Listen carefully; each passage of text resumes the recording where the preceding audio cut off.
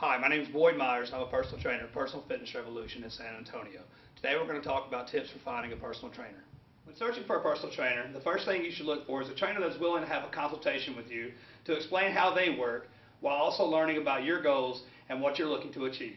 Your personal trainer should be willing to provide nutritional guidance as part of your overall program and not just some cookie cutter program. It should be something designed for you from scratch to help you get to your goals as quickly as possible. A few things to look for when looking for a personal trainer are their experience, is their experience, their certifications, and their education. Uh, a good personal trainer will have a good track record and will be willing to provide references for you to discuss former clients' successes or failures. When looking for a personal trainer, you should find a trainer that looks like they practice what they preach.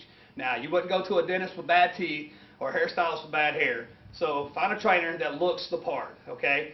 Uh, they, they don't have to be a bodybuilder or a fitness competitor, but they should be lean and fit.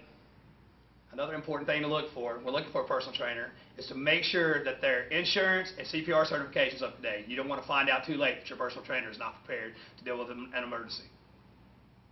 Any personal trainer that you work with should be easily accessible. You should be able to reach your trainer via phone call, email, or text message with any question you may have during your entire program.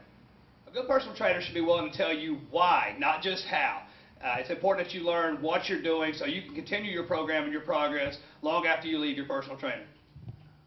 Ask your potential personal trainer if you can watch them work with a couple of clients.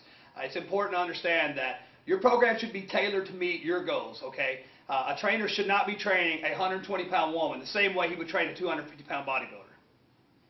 Remember, cheaper is not always better. You definitely get what you pay for. The time lost by wasting weeks, days, or months with a, with a subpar personal trainer could be more expensive than working with a true professional for a shorter amount of time. A quality personal trainer can help you reach your goals up to six times faster than going at it on your own.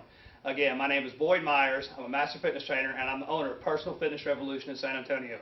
You can learn more about me, personal training, fitness, and nutrition by visiting my website at www.personaltrainerinsanantonio.com. Thank you and have a great day.